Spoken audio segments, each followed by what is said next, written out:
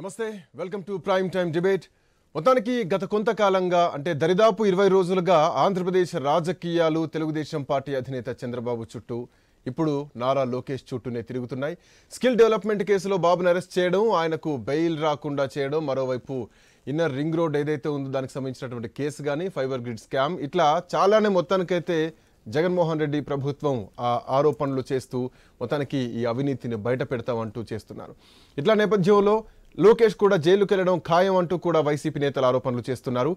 Inner ring road కేసులో లోకేష్ను ఇప్పటికే ఏ ఫోర్టీన్గా నిందితుడిగా చేర్చినటువంటి సిఐడి ఇప్పుడు ఆయనకు నోటీసులు ఇవ్వనుంది. దీనిపై ఏపీ హైకోర్టు విచారణకు కూడా తేల్చెప్పింది. ఈ మేరకు లోకేష్కు ఫార్టీ వన్ ఏ కింద నోటీసులు ఇవ్వాలంటూ కూడా ఆదేశాలు జారీ చేసింది. దీంతో లోకేష్ అరెస్టుకు సిఐడి లైన్ క్లియర్ అయినట్టేనా? ఈ తాజా పరిణామాలతో లోకేష్ మెడకు ఉచ్చు బిగిస్తున్నట్టేనా? ఇక ఏపీకి వస్తే అరెస్టు చేస్తారని మాత్రమే లోకేష్ ఢిల్లీలో ఉన్నారా? ఇంతకీ లోకేష్ ఎక్కడున్నారు?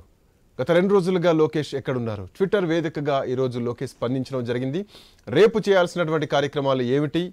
మోత మోగిద్దామంటూ కూడా తెలుగుదేశం పార్టీ నేతలకు అటు తెలుగుదేశం పార్టీ అభిమానులకు కూడా ఒక అంటే ఒక ఆదేశం జారీ చేయడం కావచ్చు ఒక కాషన్ ఇవ్వడం కావచ్చు చేయడం జరిగింది. ఏడు నుంచి ఏడు గంటల ఐదు నిమిషాల వరకు ఎక్కడికక్కడ ఎవరెవరు ఎక్కడున్నారో ఆయా ప్రాంతాల్లో సౌండ్ చేస్తూ మద్దతు ఇవ్వండి.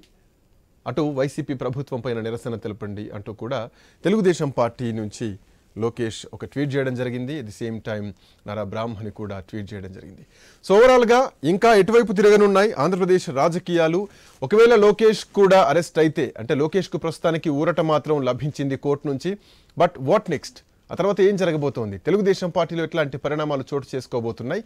వైఎస్ఆర్సీపీ ఇంకెట్లాంటి కార్యక్రమాలు చేపట్టబోతోంది? మొత్తానికి వైసీపీ వర్సెస్ టీడీపీగా మారిపోయినట్టు మాత్రం స్పష్టంగా కనిపిస్తోంది. దీనికి తోడు ఇప్పటికే అటు పవన్ కళ్యాణ్ కూడా ప్రకటించడం జరిగింది. తెలుగుదేశం పార్టీ తోటి కలిసి మూవ్ అవుతామంటూ నెక్స్ట్ అటు జనసేన ఎట్లాంటి స్టెప్ తీసుకోబోతుంది? ఓవరాల్గా లోకేష్ అరెస్ట్ కాబోతున్నారా అన్నది ప్రధానంగా ఒక చర్చ అయితే ఇఫ్ అరెస్ట్ అయితే what next in the Telugu Desam party అన్నది ప్రధానంగా ఒక చర్చ అయితే నడుస్తుంది. రైట్ ఇవాళ ప్రైమ్ టైం డిబేట్లో ఇదే అంశంపైన చర్చ కొనసాగించబోతున్నాం. మనతో పాటు పాల్గొంటున్నారు ప్రైమ్ టైం డిబేట్లో వేణుగోపాల్ గారు వైసీపీ రాష్ట్ర అధికార ప్రతినిధి. అట్లాగే మోకా ఆనంద్ సాగర్ గారు తెలుగుదేశం పార్టీ నుంచి అధికార ప్రతినిధి. అట్లాగే కిలారు నాగార్జున గారు నాతో పాటు రాజకీయ విశ్లేషకులు స్టూడియోలో పాల్గొంటున్నారు. రేగడి లక్ష్మణరావు గారు జనసేన అధికార ప్రతినిధి కూడా మనతో పాటు జాయిన్ అయ్యారు. రైట్ సో మొత్తానికి ముందుగా నాగార్జున గారు మీ దగ్గరికి వస్తున్నాను. ఇప్పటికే లోకేష్ని అంటే లోకేష్కి నోటీసులు ఇవ్వడానికి ఢిల్లీ బయలుదేరి వెళ్ళడం జరిగింది సిఐడి ఆఫీసర్స్ లోకేష్ అందుబాటులో ఉన్నారా? లోకేష్కు నోటీసులు ఇవ్వబోతున్నారా? లోకేష్కు నోటీసులు ఇచ్చే అవకాశాలని అన్న ఇదంతా జరుగుతున్నటువంటి మార్నింగ్ నుంచి జరుగుతున్నటువంటి ఎపిసోడ్లో కోర్టు నుంచి ఒక నోటీస్ ఐ మీన్ ఒక ఉపశమనం రావడం జరిగింది. ఇప్పటికిప్పుడు లోకేష్ని అరెస్ట్ చేయొద్దు అంటూ కూడా సో సంథింగ్ కొంతవరకు ఊరట జరిగింది. బట్ ఏం జరగబోతోంది? లోకేష్ సైడ్ చూస్తే గనక ఆ తీర్పు ఎట్లా వచ్చే అవకాశం ఉంది? లోకేష్ అరెస్ట్ తథ్యమని అనుకోవాలా? ఇప్పటికే చంద్రబాబు నాయుడు అరెస్ట్ అయ్యారు కాబట్టి. శ్రీకాంత్ గారు మీకు ఐ న్యూస్ వీక్షకులకు పాల్గొ చర్చలో పాల్గొంటున్నటువంటి మిత్రులందరికీ కూడా వెరీ గుడ్ ఈవినింగ్ అండి. ఇప్పుడు మీరు అడిగిన ప్రశ్నకి ఎలక్షన్లు ఇంకొక ఆరు నెలల్లోకి వచ్చినాయండి. ఎస్ సో ఇలాంటివి ఇంకా అనేకమైనటువంటివి మనం చూడబోతున్నాం త్వరలో. ఇక రాష్ట్ర అభివృద్ధి రాష్ట్రానికి సంబంధించిన ఏ ఒక్క ఇష్యూ కూడా మనకి చర్చకి రాదు. ఈ ఆరు నెలల కాలం దీనికే వెళుతూ ఉంటుంది. అయితే ఏంటంటే ఇక్కడ మనం అధికార పార్టీ ఎప్పుడైనా సరే మామూలుగా ఇంతకు ముందు కూడా నేను చెప్పున్నాను.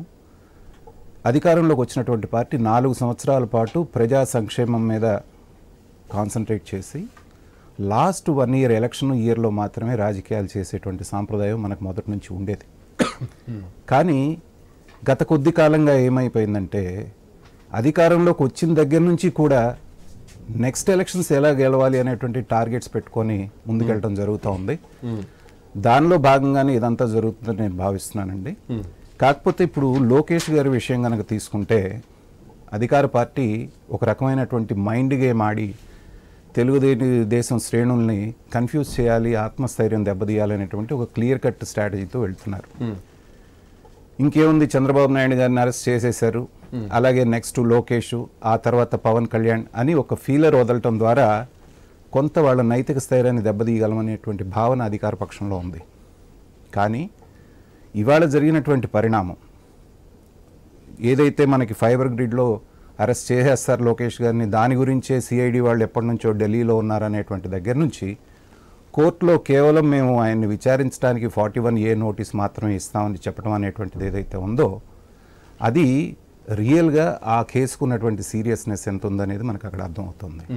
మిగతాది అరెస్ట్ చేస్తాం లోపలేస్తాం అని చెప్పిందంతా కూడా ఏంటంటే ఒక రకమైనటువంటి ఫీలింగ్ కలిగించడానికి అనేటువంటిది తెలుస్తూ ఉంది చంద్రబాబు నాయుడు గారిని అరెస్ట్ చేస్తే ఎలక్షన్ ముందు అందరూ కూడా నిరుత్సాహపడిపోతారు అనేటువంటి ఒక ఆలోచనతో జరిగినటువంటిది జరిగిందా లేదా అనేటువంటి కోర్టులు తెలుస్తాయి కోర్టులో ఉంది కాబట్టి. కానీ అరెస్ట్ తర్వాత జరిగినటువంటి పరిణామాలను చూసిన తర్వాత గవర్నమెంట్ ఖచ్చితంగా కొంత రియలైజేషన్లోకి వెళ్ళిందని నేనైతే అనుకుంటున్నాను.